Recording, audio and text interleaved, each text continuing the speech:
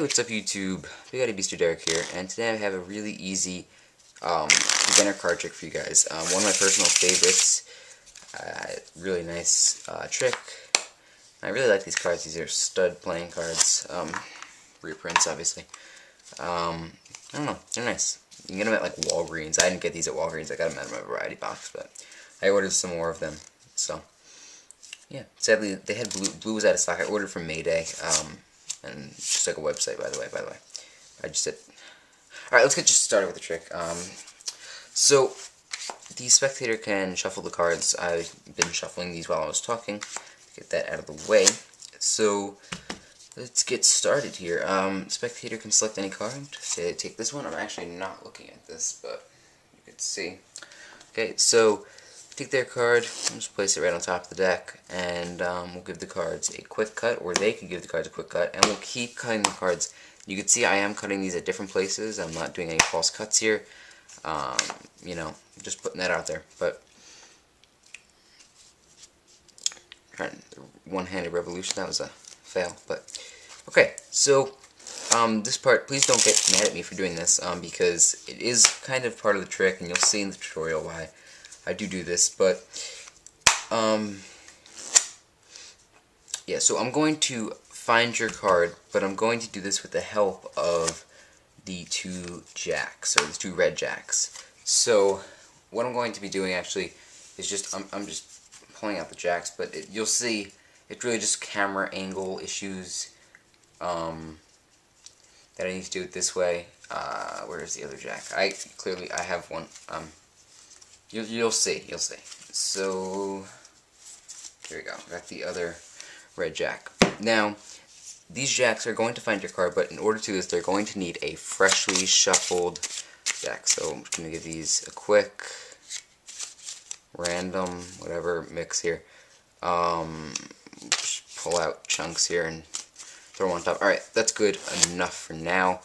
Oh, well, you know, I'll give them a quick riffle shuffle too. I'm not going to bother bridging. I don't really feel like. Okay, so what I'm going to do is I'm going to take these jacks. I'm going to place one on the bottom and one on the top, you could see. And this one's sticking out so you could see him at all times. And they're going to find a locating, uh, find your card with a simple toss of my hand. So here we go. Three, two, I got one card.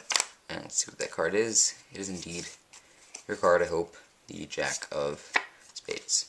Alright, so how you do this trick is really simple, and um, the reason why I was taking it off camera, actually, no, we'll get to it in the tutorial. So, first off, um, what you're going to do is you can obviously have the spectator shuffle the cards any way they like, and then what you're going to do is you're going to, you know, you could, what I, I didn't do this in the video, but you're going to spread out the cards, or you can do this, and you're going to, either way, you're going to need to look at the bottom card and memorize that card. So in this case, it's the two of hearts. You know what? I'm going to make it the ace of spades, so don't forget.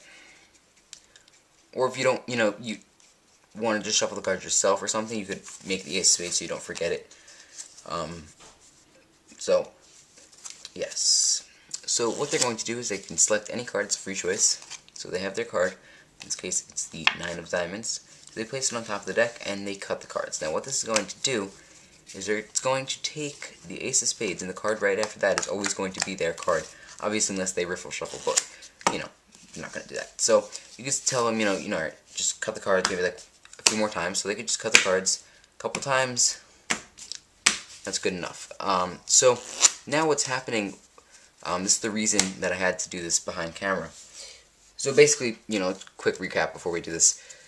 Basically, you memorize the bottom card after they shuffle the deck, and they picked a card, and you cut the card. So now where we're at is here.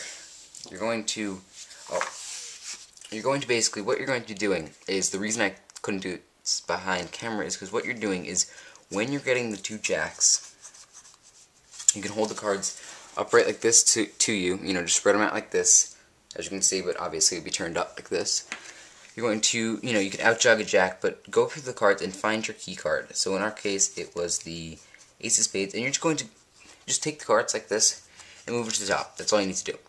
So then what happens is you know, their card is at the top, and you have an out jogged jack, and I don't know where the other jack is. Another out jogged jack. So now you have their card at top, at the top, and two out jogged jacks. Now, you can also um, move the card to the bottom just by, you know, obviously if it's in the deck, you just put it over here and move this to the top. You can do whatever you want. Um, but I like to it to the top because then what I could do is shuffle the cards and do a, um, a force shuffle and just force the card to the bottom of the deck like so. And you just do that, you hold the cards like you would just doing a regular overhand shuffle. And you peel off the first card and then throw the cards on the rest of the cards on top. That was a pretty bad one. But um, yeah, so that's pretty much all you're doing. You're just peeling it and you're doing it fast so it kind of you know you don't see it. And then also what I did was I put my fingers back here and held. I'll just put this over. Held this back here, pulled out the middle section, holding their card at the bottom, and threw the rest on top. So it kind of gave the illusion that I was, you know, doing what I, yeah. So now what you're going to do, that you have their card on the bottom in whatever way you got there, you're just going to place both jacks on top, peel one off to the bottom, and make it seem like you're giving, you know, doing them a favor by leaving the jack out the entire time. But really what's that's allowing you to do is when you hold the cards like this, you could catch onto the, you can hold onto the jack and their card. So when you do the tossing motion, while holding onto with all four fingers, thumb on top, all four fingers down here, holding onto the jack and their card, tossing the cards, you're going to hold on to both of these cards and the top card. Um, it takes a little practice to get this move down. Um, just make sure, you know, you have, you know, if it's the Jack of Hearts, make sure it's pretty much the first heart or diamond is cut down the middle more or less. And when you toss the card, just give it a nice flick of the wrist. And that should get their card out. And um, yeah, so it takes a little practice to get that move, but it's pretty, you know, a very easy trick. A very easy trick. And yeah, it's more or less it. Any questions, um, feel free to comment or PM me, and I will be glad to ask. Um, I mean, answer. And yeah, that's pretty much it. I uh, hope you guys enjoyed this trick. It's a pretty easy one. It's a really cool one to perform. And, um, yeah, I'll see you guys next time. Thanks for watching. Bye.